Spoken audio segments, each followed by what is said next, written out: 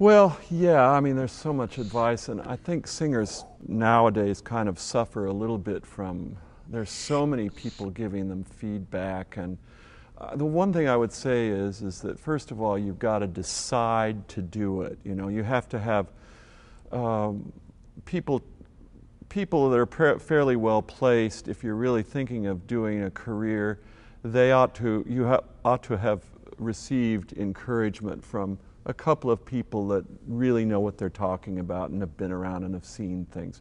That's important.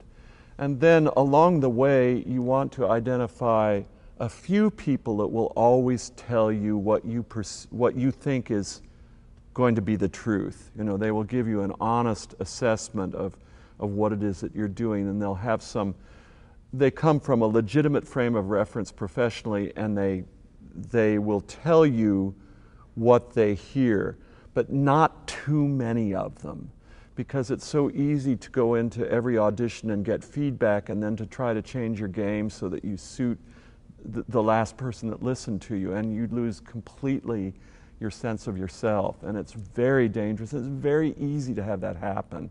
So you know have maybe a pianist coach and a voice teacher and a conductor maybe three people maybe a recording engineer who knows your work. Uh, every once in a while, just give you a reaction about what it is that you're doing and how you're coming along.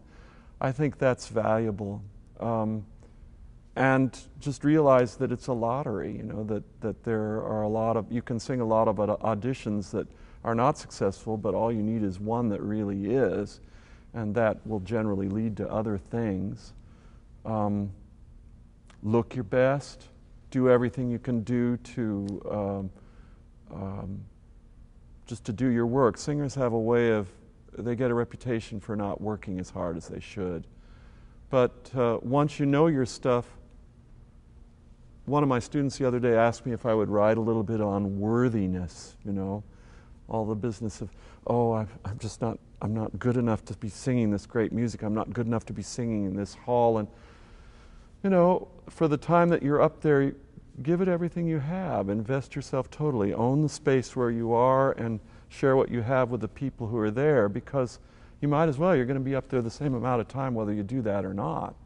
And uh, uh, see what happens. That's what I would say today.